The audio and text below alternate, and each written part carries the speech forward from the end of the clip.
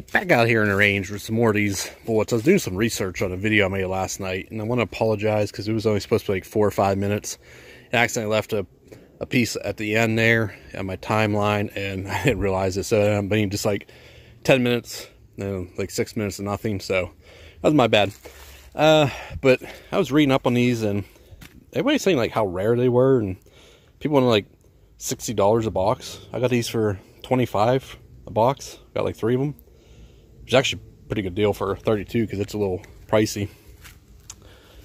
But, uh, and then I was looking how they're made. I will put up here, like right around now, about uh, how the bullet's designed.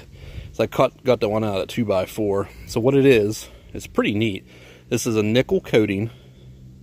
Which nickel's pretty hard. It has a little bit of lead in there.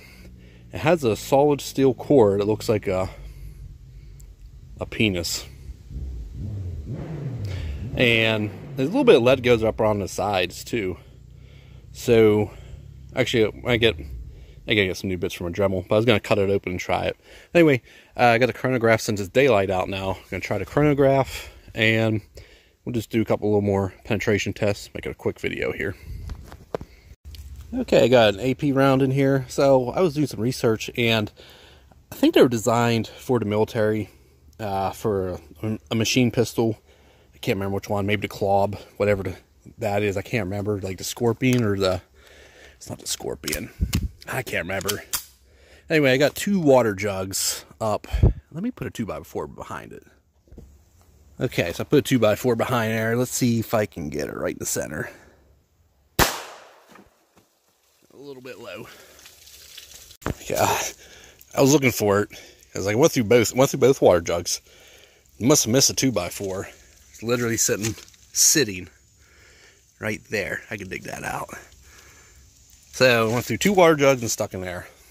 I mean, I just don't think a 32 ACP has the power. You know, it, it won't even deform a regular bullet. But we'll try a couple more. Okay, I shot a few regular ones. They were 820, 843-ish. So hopefully we get a reading on this one here. Ooh, 977. So quite a bit faster, almost a thousand feet a second. All right, so we got some uh, four by ones, I think, and I'm gonna try these out, see if they work a little better than the two by fours. So we'll go full metal jacket. Let me fix that. All right, I'll try to put an AP round right above it. Okay, so that was a full metal jacket. That was AP round. Okay, and let's see if there's a difference. Both went through to one, two. Hopefully this isn't too hard to figure out because this, this wood so shot up. Three, four, five. I think they're still going. Here's a 22. Five. See, what are we up to? Six total so far.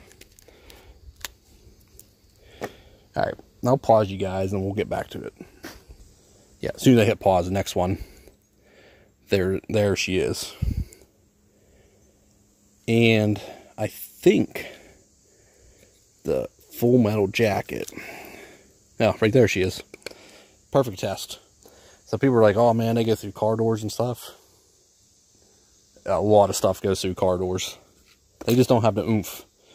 So it literally it went in there sideways too. There's a full metal jacket. There went through one, two, three, four, five, six, seven. This one's stuck in the seventh. This one's stuck in the eighth not that big of a difference. Like I said, a 32 just does not have the power. So yeah, you can see here, none of them are splattered. Even the full metal jacket did not deform at all. So, yeah, they move a little faster. Solid steel. Uh, they definitely penetrate a little bit more, but very, very little. For they're just 32 just not not have the oomph. Yeah, just to end the video off here. See, if I can hit a couple golf balls. Man, they look small from back here. Oh, that was so close. To the right. There, I got it. I think.